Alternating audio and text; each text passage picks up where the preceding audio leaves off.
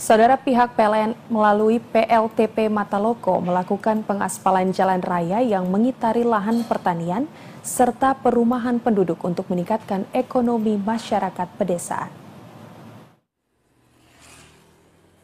Pembangunan infrastruktur jalan raya yang bagus dan berstandar nasional sangat penting bagi masyarakat pedesaan yang berprofesi sebagai petani serta peternak dan pedagang agar bisa membawa hasil produksi pertanian dan peternakan dengan lancar dan aman untuk dijual dan menghasilkan pendapatan demi peningkatan kesejahteraan masyarakat itu sendiri. Hal inilah yang mendorong pihak PLN melalui PLTP Mataloko membangun infrastruktur jalan dengan melakukan pengaspalan sepanjang 8 km dengan lebar 4 meter belum termasuk bahu jalan serta memiliki ketebalan aspal 5 cm sesuai standar nasional yang mengitari lahan pertanian dan pemukiman agar mempermudah pelintasan kendaraan untuk memuat hasil pertanian dan perkebunan serta peternakan milik warga yang akan dijual.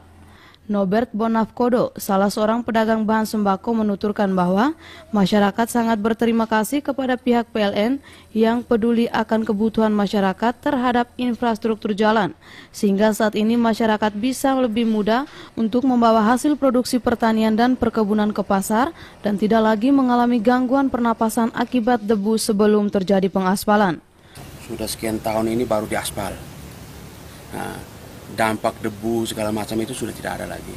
Dampak ekonominya juga ini kan jalan semakin bagus artinya uh, lalu lintas lalu lintas petani segala macam pengusaha yang lewat-lewat jalan ini kan sudah bagus tidak seperti yang kemarin kan lubang-lubang mungkin begitulah. LN ini benar-benar memperhatikan kami Masyarakat berharap agar pembangunan infrastruktur jalan dengan pengaspalan yang baik dan layak bisa dilanjutkan, khususnya di seputar wilayah yang dekat dengan pengembangan PLTP Mataloko untuk peningkatan kesejahteraan hidup.